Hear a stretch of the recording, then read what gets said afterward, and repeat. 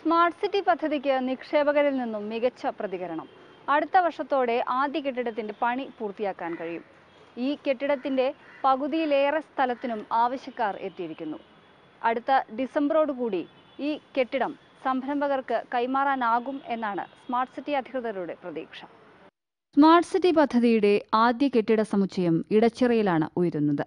അടുത്ത വർഷം ഡിസംബറിൽ സംരംഭകർക്ക് കെട്ടിടം കൈമാറാനാകുമെന്നാണ് സ്മാർട്ട് സിറ്റി അധികൃതരുടെ പ്രതീക്ഷ. ഫസ്റ്റ് ബിൽഡിംഗ് ആറ് ലക്ഷം സ്ക്വയർ ഫീറ്റ് ആണ് മൊത്തം.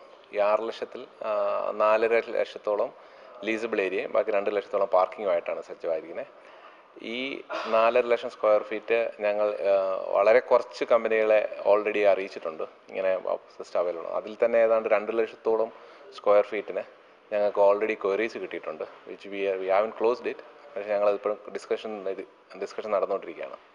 കേരളത്തിലെ മറ്റ് ഐ ടി പാർക്കുകൾക്ക് പാർക്കിംഗ് സൗകര്യമാണ് ഏറെ വെല്ലുവിളി ഉയർത്തുന്നത്. ഈ പരിമിതി മറികടക്കാനാണ് രണ്ടര ലക്ഷം ചതുരശ്ര അടി പാർക്കിങ്ങിനായി നീക്കിയിരിക്കുന്നത്. കോൺസെപ്റ്റ് മാസ്റ്റർ പ്ലാനിൽ ലാൻഡ് ലേ ഔട്ടൊക്കെ വളരെ സിമ്പിൾ അതായത് ഓരോ അതായത് കുറച്ച് എസ് സീസ് റെഗുലേഷൻസ് ഉണ്ട്. ആ റെഗുലേഷൻസ് വെച്ചിട്ടുള്ള സ്പെസിഫിക്കേഷൻസ് മാത്രമേ ഉണ്ടാവുള്ളൂ. പക്ഷേ ഡീറ്റെയിൽഡ് ആയിട്ടുള്ള ഇപ്പോൾ ഡിജിറ്റൽ മാസ്റ്റർ പ്ലാൻ ഈ സ്മാർട്ട് സിറ്റിയുടെ ഒരു അട്രാക്റ്റീവ് തന്നെ ഡിജിറ്റൽ മാസ്റ്റർ പ്ലാൻ എന്നുള്ള സംഭവമാണ്. അതായത് വോട്ട് ഈ സ്മാർട്ട് അബൌട്ട് സ്മാർട്ട് സിറ്റി അപ്പോൾ സ്മാർട്ട് സിറ്റിനെ വ്യത്യസ്തമാക്കുന്ന ബാക്കിയുള്ള സാധാരണ സിറ്റികളിൽ വ്യത്യസ്തമാക്കുന്ന ഈ സ്മാർട്ട്നെസ് തന്നെ ഈ ഡിജിറ്റൽ മാസ്റ്റർ പ്ലാനിലാണ് അതായത് ഒരുപാട് ഡിജിറ്റൽ സർവീസസ് നമ്മൾ ഉദ്ദേശിക്കുന്നുണ്ട്.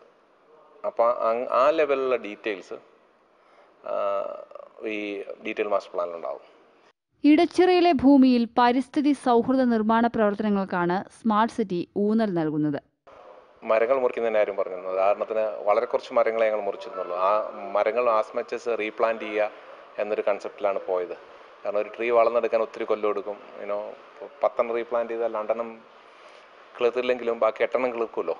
അപ്പോൾ സോ അതുകൊണ്ട് ആസ്മച്ചസ് റീപ്ലാന്റ് ചെയ്യുക as much as green and environment support ചെയ്യുന്ന രീതിയിലുള്ള ഡെവലപ്മെന്റാണ് എല്ലാം ചെയ്തിരിക്കുന്നത്. ഈ സാധാരണ ഡെവലപ്മെന്റ് സാധാരണ മാസ്റ്റർ പ്ലാൻ എല്ലാം കംപ്ലീറ്റ് ചെയ്ത് അതിന്റെ പാരസ്യ അനുമതി വാങ്ങിയിട്ടാണ് അടുത്ത ബിൽഡിങ്ങിലോട്ട് പോവുക. അപ്പം ഇത് ഡിലേ വന്നുകൊണ്ട് നമുക്ക് കുറച്ചുകൂടെ സ്പീഡപ്പ് ആക്കാൻ വേണ്ടി ആദ്യത്തെ ബിൽഡിങ്ങിന് മാത്രം പാരസ്യ അനുമതി വാങ്ങിച്ചു. എന്നിട്ട് ആ ബിൽഡിംഗ് തുടങ്ങി. In parallel to that master plan work നടക്കുന്നുള്ളതുകൊണ്ട് ആ മാസ്റ്റർ പ്ലാൻ വർക്ക് പ്രോഗ്രസ് ചെയ്യുന്നതനുസരിച്ച് കംപ്ലീറ്റ് ചെയ്യുന്നതനുസരിച്ച് എന്റെ ഇരുന്നൂറ്റി നാൽപ്പത്താറ് ഏക്കറിനെയും പാരിസ്ഥിതിക അനുമതിക്ക് വേണ്ടി ഫയൽ ചെയ്യുന്നതായിരിക്കും.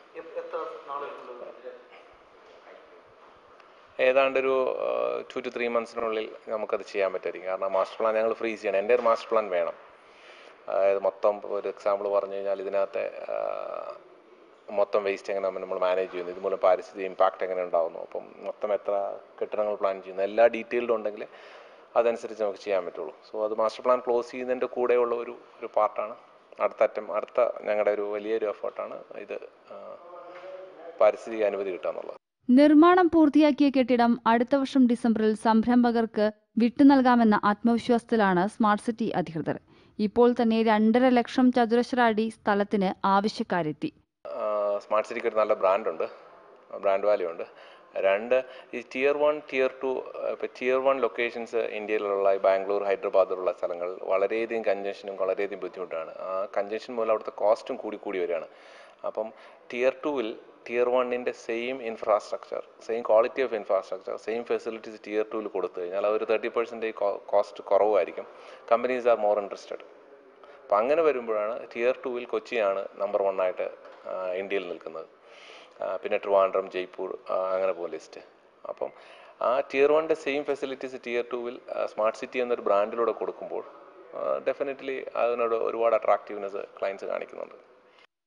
നാലര ലക്ഷം ചതുരശ്ര അടിയിലാണ് കെട്ടിടം. പുതിയ കെട്ടിടത്തിന്റെ പേര് പൊതുജനങ്ങൾക്കും നിർദ്ദേശിക്കാം. നിർമ്മാണം പൂർത്തിയാവുന്ന കെട്ടിടം കൈമാറുന്നതോടൊപ്പം മറ്റു സ്ഥലങ്ങൾ നിക്ഷേപകർക്ക് ഐ ടി സംരംഭങ്ങൾ തുടങ്ങുന്നതിന് പാട്ടത്തിന് നൽകാനും സ്മാർട്ട് സിറ്റി ചർച്ചകൾ തുടങ്ങിയിട്ടുണ്ട്. രാജ്യത്തെ രണ്ട് മുൻനിര ഐ ടി കമ്പനികളുമായി ഇക്കാര്യത്തിൽ ചർച്ച നടക്കുന്നുണ്ട്. വരുന്ന ഡിസംബറിൽ ചേരുന്ന ഡയറക്ടർ ബോർഡ് യോഗം ഇക്കാര്യത്തിൽ അന്തിമ തീരുമാനമെടുക്കും. സ്മാർട്ട് സിറ്റിക്കായി ഏറ്റെടുത്ത മുഴുവൻ സ്ഥലത്തിനും പാരിസ്ഥിതിക അനുമതി വാങ്ങുന്നതുൾപ്പെടെയുള്ള കാര്യങ്ങൾ ഡയറക്ടർ ബോർഡ് യോഗത്തോടെ പൂർത്തിയാക്കും. ഈ ബിൽഡിങ്ങും കുറച്ചും കൂടെ ഒരു ഒരു ലക്ഷറി അതായത് ലക്ഷറി എന്ന് ഉദ്ദേശിക്കുമ്പോൾ ഒന്ന് ലീഡ് രണ്ട് രീതിയിൽ അതായത് ഒന്ന് ബിൽഡിങ്ങിന്റെ എഫിഷ്യൻസി വെച്ച് നോക്കുകയാണെങ്കിൽ അത് ലീഡ് പ്ലാറ്റിനം ബിൽഡിംഗ് ആണ്. ലീഡ് പ്ലാറ്റിനം ആക്ച്വലി കേരളത്തിൽ ഇതിനു മുമ്പ് ഇൻഫോസിസിന്റെ ഒരു കെട്ടിടം മാത്രമേ ഉള്ളൂ തിരുവനന്തപുരത്ത്. ലീഡ് പ്ലാറ്റിനം ലീഡ് പ്ലാറ്റിനം ആകുമ്പോൾ എനർജി സേവിങ്സ് അതിനകത്ത് ഒത്തിരി ഉണ്ടാവും. ഓപ്പറേഷണൽ എക്സ്പെൻസസ് കുറവായിരിക്കും. പിന്നെ പ്ലാസാസും ഫുഡ് സ്റ്റോ ഫുഡ് സ്റ്റോറും അങ്ങനത്തെ കാര്യങ്ങളെല്ലാം ബിൽഡിങ്ങിൽ തന്നെ ഉണ്ട്. ദാറ്റ് വുഡ് യുനോ ആളുകൾക്ക് പുറത്ത് പോയി ഇങ്ങനെ ഭക്ഷണത്തിന് വേണ്ടി പോകുക അങ്ങനത്തെ ആവശ്യം വരുന്നില്ല.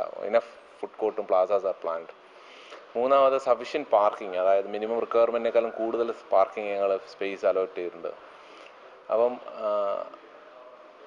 ഇതൊക്കെയാണ് ഐ മീൻ ബേസിക് ലെവലിൽ പറഞ്ഞത്. സ്മാർട്ട് സിറ്റിയുടെ വിശദമായ മാസ്റ്റർ പ്ലാനും യോഗം ചർച്ച ചെയ്യും.